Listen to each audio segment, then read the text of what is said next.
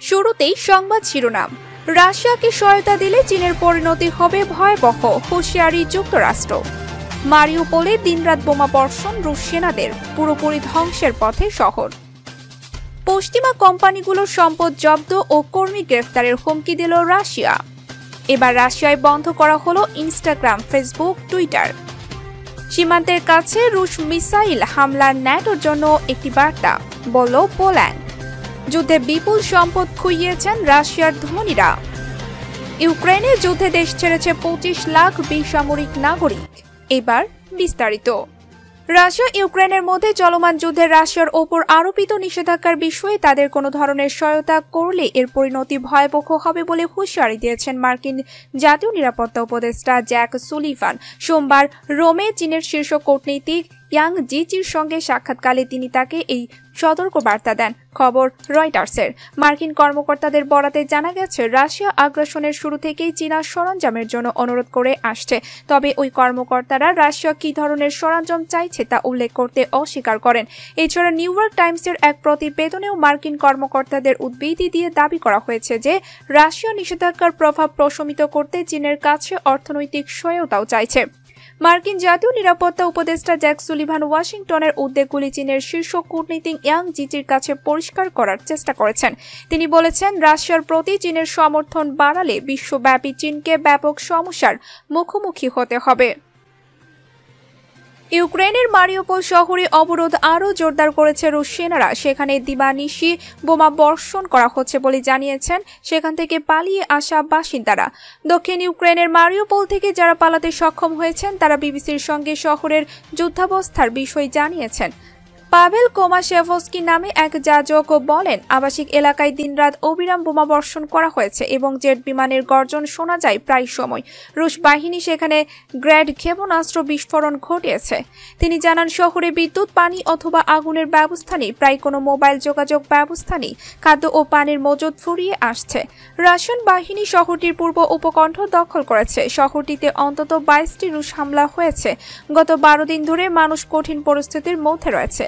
পাভেল জানান, কয়েকদিন আগে প্রাইভেট কারে করে তিনি চলে এসেছেন। সেখানে খাবার সামগ্রী বিতরণ ও অবরুদ্ধদের সরিয়ে নেওয়ার উদ্যোগ নিয়েছে রেড ক্রস উল্লেখ্য, চব্বিশ ফেব্রুয়ারি রাশিয়ার প্রেসিডেন্ট ভ্লাদিমির পুতিনের নির্দেশে ইউক্রেনে সামরিক অভিযান শুরু করে রুশ বাহিনী। এ অভিযানের অংশ হিসাবে স্থল, আকাশ ও পানিপথে ইউক্রেনে হামলা চালানো হচ্ছে। অভিযান শুরুর পর ইউক্রেনের সেনাবাহিনীরও প্রতিরোধের চেষ্টা চালাচ্ছে। এতে দুপক্ষের মধ্যে রক্তক্ষয়ী সংখ্যা চলছে। আজ যুদ্ধের উনিশতম দিন। রাশিয়ার ওপর নিষেধাজ্ঞা আরোপের জবাবে পশ্চিমা কোম্পানিগুলোর সম্পদ জব্দ ও কর্মী গ্রেফতারের হুমকি দেওয়া হয়েছে। সোমবার এমন সংবাদ প্রকাশ করেছে আল জাজিরা। রাশিয়ার ওপর পশ্চিমা নিষেধাজ্ঞা কার্যকর থাকলে দেশটিতে অর্থনৈতিক বিপর্যয়ের শঙ্কা করা হচ্ছে। এমন সময় রুশ কর্তৃপক্ষ পশ্চিমা কোম্পানিগুলোর সম্পদ জব্দ ও কর্মী গ্রেফতারের হুমকি দিয়েছে। এ হুমকি এমন সময়ে দেওয়া হচ্ছে যখন রাশিয়া থেকে পশ্চিমা কোম্পানিগুলো তাদের ব্যবসা গুটিয়ে নেওয়ার চিন্তা করছে। ওয়াল স্ট্রিট জার্নালের প্রতিবেদনে এমন সংবাদ প্রকাশ করা হয়েছে। দি বিজনেস ডেইলি ও বিভিন্ন সূত্রের তথ্য অনুসারে রাশিয়ান আইনজীবী ও কর্মকর্তারা বিভিন্ন বিদেশি কোম্পানিগুলোকে ফোনে চিঠিতে ও ব্যক্তিগতভাবে সম্পদ জব্দ ও কর্মী গ্রেফতারের হুমকি দিয়েছে। Coca Cola, McDonald's, Procter and Gamble IBM Yum Brands KFC Pizza, Hut নামের কোম্পানিগুলোকেও ওই হুমকি দেওয়া হয়েছে। এসব বিদেশি কোম্পানির যে সকল কর্মকর্তা রুশ সরকারের সমালোচনা করেছে, তাদের গ্রেফতার করা হবে এবং তাদের সম্পদ বাজেয়াপ্ত করা হবে। এছাড়া এই সকল বিদেশি কোম্পানির কারিগরি জ্ঞানগত বুদ্ধিভিত্তিক সম্পত্তি জব্দ করা হবে। সোমবার সকালে রাশিয়ায় বন্ধ হয়ে গেল সমস্ত সোশ্যাল নেটওয়ার্ক। অন্যদিকে ইউক্রেন রাশিয়ার প্রতিনিধিদের সদর্থক আলোচনার ইঙ্গিত। শুক্রবারই রাশিয়ার মিডিয়া রেগুলেটর ঘোষণা দিয়েছিল ফেসবুক এবং টুইটার বন্ধ করে দেওয়া হবে। রোববার রাত থেকে আর কোনো ব্যক্তি ওই দুই সোশ্যাল নেটওয়ার্ক ব্যবহার করতে পারবেন না। সোমবার ভোরে দেখা গেল ফেসবুক, টুইটারের পাশাপাশি ইনস্টাগ্রামও আর কাজ করছে না। NetBlocks cyber security watchdog সরকারিভাবে এই তথ্য প্রকাশ করেছে। রাশিয়ার বক্তব্য, সামাজিক মাধ্যম ব্যবহার করে রাশিয়ার সেনার বিরুদ্ধে জনমত গড়ে তোলার চেষ্টা চলছিল।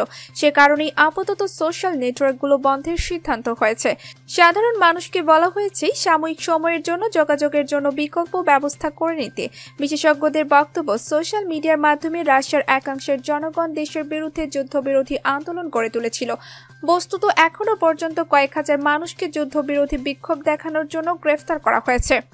সামাজিক মাধ্যম ব্যবহার করে যেহেতু দ্রুত জনমত গড়ে তোলা যায়, তাই সোশ্যাল নেটওয়ার্ক বন্ধের সিদ্ধান্ত নিয়েছে রাশিয়া। রবিবার পোল্যান্ড সীমান্তের কাছে ইউক্রেনের একটি সামরিক ঘাঁটিতে মিসাইল হামলা চালায় রুশ বাহিনী। বিশ্বের সবচেয়ে বড় সামরিক জোট ন্যাটোর এটি একটি বার্তা ও হুমকি বলে মনে করছে পোল্যান্ড। পোল্যান্ডের ডেপুটি পররাষ্ট্রমন্ত্রী মার্সিন প্রচাই ডাকোচ বিবিসিকে কথা বলেন। রবিবার পোল্যান্ড সীমান্তের বিশ কিলোমিটার দূরে অবস্থিত ইউক্রেনের ইয়াভরিভ সামরিক প্রশিক্ষণ কেন্দ্রে মিসাইল হামলা চালায় রুশ বাহিনী। এতে অন্তত পঁয়ত্রিশ জন নিহত হয়। আহত হয়েছে আরও অনেকে। সীমান্তবর্তী এলাকায় রাশিয়ার হামলাকে উচ্চস্কানিমূলক প্রচেষ্টা হিসাবে উল্লেখ্য পুলিশ ডেপুটি পররাষ্ট্রমন্ত্রী। তিনি বলেন, তারা অবশ্যই জানে এই সামরিক প্রশিক্ষণ কেন্দ্রটি পোল্যান্ড সীমান্তের খুব কাছাকাছি এলাকায়। তারপরও তারা সেখানে হামলা চালিয়েছে। দিয়েছে এর মাধ্যমে তারা ন্যাটোকে হুমকি দিচ্ছে। এই হামলা সেই বার্তায় বহন করে। উল্লেখ্য, সাবেক সোভিয়েত ইউনিয়নের দেশে ইউক্রেনে সামরিক অভিযান চালাচ্ছে বিশ্বের দ্বিতীয় বৃহত্তম পরশক্তি রাশিয়া। গত চব্বিশ ফেব্রুয়ারি ভোর থেকে এই অভিযান শুরু হয়। এরই মধ্যে সোমবার উনিশতম দিনে গড়িয়েছে এই অভিযান। বিগত আঠারো দিনে ইউক্রেনের বেশ কয়েকটি নগরী দখলে নিয়েছে রুশ বাহিনী। ইউক্রেনে রাশিয়ার সামরিক অভিযানের পরই বড় ধরনের আর্থিক ক্ষতির মুখে পড়েছেন রাশিয়ান ধন কুবেররা রাশিয়ার ওপর পশ্চিমাদের কঠোর নিষেধাজ্ঞার ফলে বিপুল পরিমাণে অর্থ হারাচ্ছে তারা। সিএনবিসির এক প্রতিবেদনে এ তথ্য জানানো হয়। জানা গেছে, সাম্প্রতিক সপ্তাহগুলোতে রাশিয়ার শীর্ষ ধনীরা আশি বিলিয়ন ডলার বা আট হাজার কোটি ডলারের সম্পদ হারিয়েছেন। চলমান নিষেধাজ্ঞা ও সম্পদ জব্দের কারণে এ ক্ষতির পরিমাণ আরও বাড়বে বলে ধারণা করা হচ্ছে। ব্লুমবার্গের বিলিয়নিয়ার ইন্ডেক্সে অনুযায়ী ইউক্রেন রাশিয়ার হামলার পরই অর্থনৈতিক বিশৃঙ্খলা দেখা দেয়। এমন পরিস্থিতিতে রাশিয়ার বিশ ধান কুবেরের সম্পদের প্রায় এক তৃতীয়াংশ কমে গেছে। অলিগার্কদের ওপর নিষেধাজ্ঞা, রাশিয়ার অর্থনীতি ও মুদ্রার পতনের ফলে বিশ্বজুড়ে রাশিয়ান ধনকুবেরদের ওপর প্রভাব পড়েছে। এদিকে রুশ ধনকুবেরদের বিলাসবহুল কয়েকটি প্রমোদ তরি জব্দ করেছে পশ্চিমা দেশগুলো। এর মধ্যে উজবেক বংশোদ্ভূত রুশ ধনকুবের আলিশার ওসমানফের পাঁচশো ফুট দৈর্ঘ্যের দিলবার যুক্তরাজ্যের চেলসি ফুটবল ক্লাবের মালিক রোমান আব্রামোভিচের চারশো ষাট ফুট দৈর্ঘ্যের সোলারিচ ও রোজনে ফর্টেল কোম্পানির প্রধান নির্বাহী কর্মকর্তা ইগোর সেচিনের দুশো আশি ফুটের আমর ভেলো নামের তিনটি প্রমোদ তৈরি রয়েছে।